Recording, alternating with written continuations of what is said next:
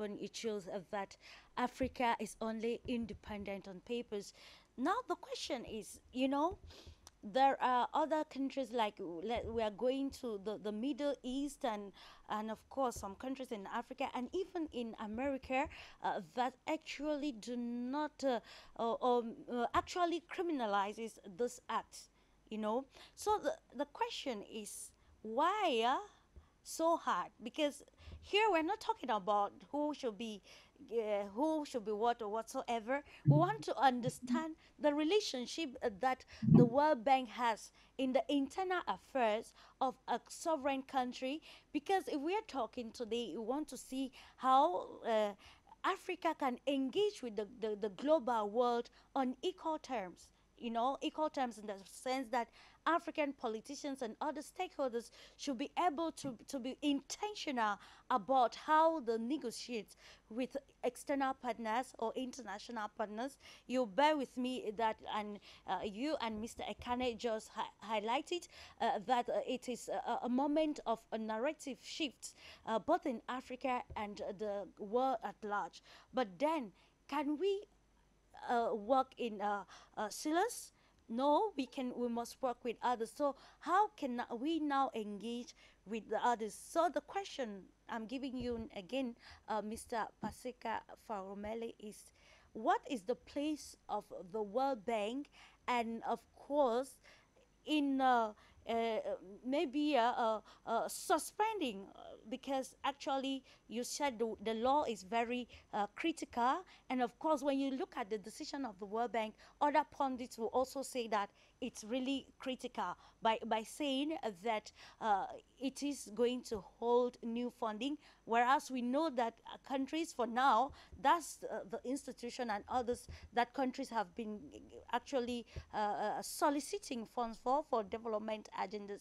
So how is this uh, a decision by the World Bank going to affect Uganda and of course and how is it further straining the existing relationship between Uganda and of course countries that are actually shareholders in the World Bank Group. Thank you, Clarice. You know, um, it, it, it, it's quite uh, mind blowing when you look at what has been happening in the world right now. I look at uh, from a sporting point of view, from a sporting point of departure, I look at what Saudi Arabia has been doing recently and uh, the reaction from the rest of the world. Um, in the Middle East, a lot of countries have these stern laws against homosexuality. They say that you will be arrested for being in a relationship with someone. You, but these are countries that were able. Just last year, if I'm not mistaken, there was a World Cup, a football World Cup that happened in a country which illegalized um, homosexual relationships. But that country, it continued to have a successful tournament, and right now it's getting to a point where it's receiving more and more attention because it's able to attract more people, uh, more football players because of its financial stability, economic and financial stability. What that tells you is our problems are primarily because of where we find ourselves from a socio-economic point of departure as a continent. So our laws, the laws that we can put in place become heavily dependent on, on how uh, we align them with people with with organizations such as the World Bank. So you cannot be totally independent of the World Bank. You are heavily dependent and relying on external funders for you to have a functional country. While in the Middle East, a number of these countries are able have become self-sustained. So what that means is that they are able to sustain themselves and function without the help necessarily. As you said, we cannot exist in silos, but without necessarily over dependence on external features. So that means that they are able to have laws in place because of how economically and politically strong they have become that are not dependent on what others can say from the outside. There were protests um, before the World Cup. There were protests. People were saying this is an oppressive regime. It is not enabling of uh, people to express themselves how they want to. It is not enabling for people to exist for being who they want to be those protests didn't go anywhere. There was a World Cup. There were people who were people went from all over the world to the World Cup. It was successful that World Cup. But you know why? It's because of this new, uh, ability to self-sustain and not be overly reliant on external powers, as our country currently is. And that is why we can be held hostage as a continent. We can be held hostage by external powers, and we see it even now in in in in in, in in uh, uh, what do you call in Niger. We see it even now in, in, in Mali. We see it in Burkina Faso. We see all these countries that the ex, there's external people who are trying to influence how these people guide themselves. But because they have strong leadership, which is, you know, this is leadership which has proven itself to be quite resilient. And as I will always emphasize, I do not necessarily agree with coup d'etats and, and whatnot.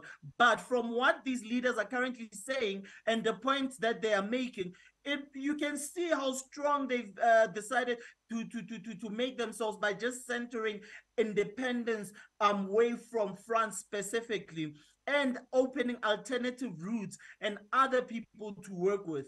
It is very difficult, it is not easy, and it will not be easy. But by being able to make sure that these people try to send the population of the country instead of themselves as politicians and center corruption and so that they can continue to benefit and the west can come in and influence them by paying them large amounts of money so that they can steal even a lot more from them. Then we see that these people are, are leaders that the populations in these countries are quite happy about. From what we are seeing currently these are people that are able to say, we are going to present these laws, we are going to present these policies, we are going to do one, two, and three for our people. And the people seem relatively uh, confident in their leadership. Why? Because these are not people who are not, who are, who continue to be over reliant on the on, on external uh, influences specifically their former colonizers they are trying to bake to to to break their ties with them to the best of their abilities if you are still overly dependent on on your external uh, uh, uh, on on your former colonizer none of this would be even possible. We wouldn't be seeing what we are currently seeing in the rest of the continent of africa. Thank you clarice the Paseka, uh, Paseka family, I beg your pardon. Uh, just to remind those of you tuning in that this is the Pan African debate on the Pan African television, Afrique Media. And today we are analyzing uh, the anti gay law enacted by the parliament in Uganda, looking at the implications and, of course, uh, relating